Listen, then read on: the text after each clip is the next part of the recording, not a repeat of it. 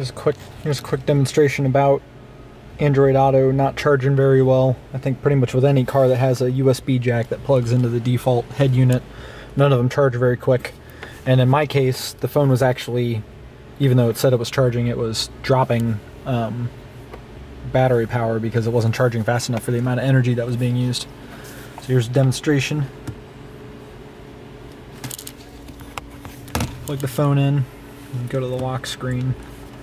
You'll see charging slowly, which is uh, not what we want. Usually that's what happens when you plug it into a slow computer or something that can't provide enough power.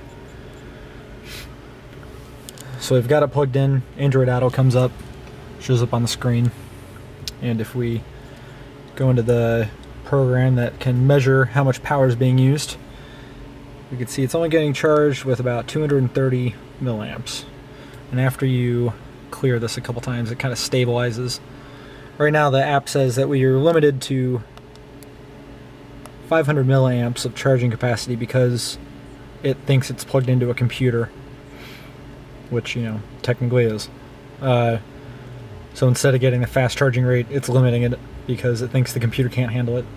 So you can see after a while this kind of stabilize. It's between like 100 and 200. It's probably also because I've got the screen brightness turned up there's more power being used by that than it's getting charged. So it's very slow. So one thing I found was, we'll go ahead and unplug this. So you can see, it goes back here, we're decharging, Android Auto turned off. You grab one of these powered USB hubs that have, uh, it has the regular USB connection on it, and then it also has a 12 volt input. Right. Focus right there. So I grabbed a random car charger uh, battery that fit in there. Luckily, this doesn't come with the unit. It comes with the wall unit, so you just got to find one that fits. Take that, plug it in. The lights on this will turn up because the battery is powering that now. And you take the USB out of the hub and you plug it into here. So you got that plugged in. That's plugged into here. Now take your phone, and there's a jack on here that has a special charge icon on it. Uh, my, this will not focus. Um, come on.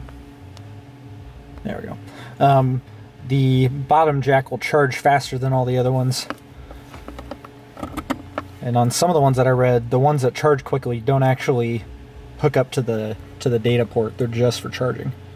But on this one, it keeps the data hooked up also. So we go in here, go to the lock screen, and you can see now it says charging, not charging slowly. So I mean, it's not um, it's not charging quickly, but it's also uh, charging faster than that. Charging faster than just with the default one. So we got Android Auto going, that shows up there. And now after we let this stabilize for a couple seconds, I don't know why it doesn't jump up immediately, but you know, whatever. So we let this go for a couple seconds, clear it out. And you can see on the screen here, it says the max is 1.5 now, not 500 like before. So after you let this go for a little bit, it'll slowly climb. Or it did last time at least. 740. 800. Last time it climbed to about 1200 milliamp hours.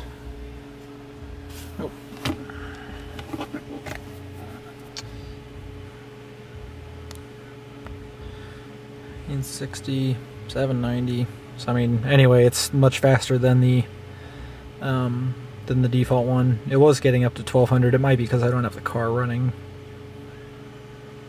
We can try doing that, see if that helps. So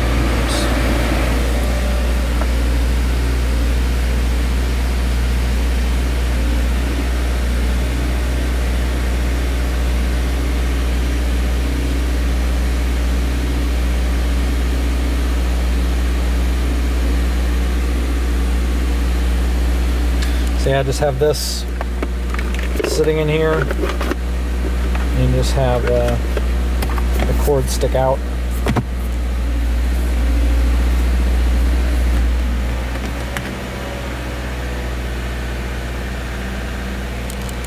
So I think it also changes the amount of power it's getting based on how full the battery is.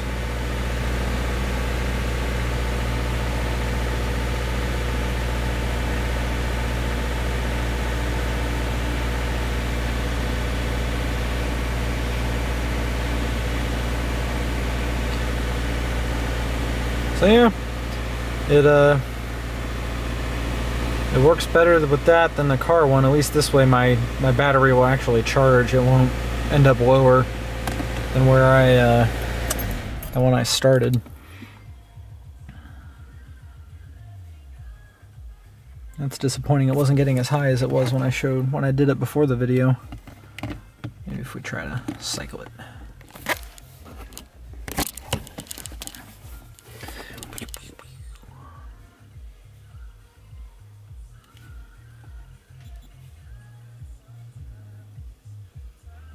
There we go, thousand.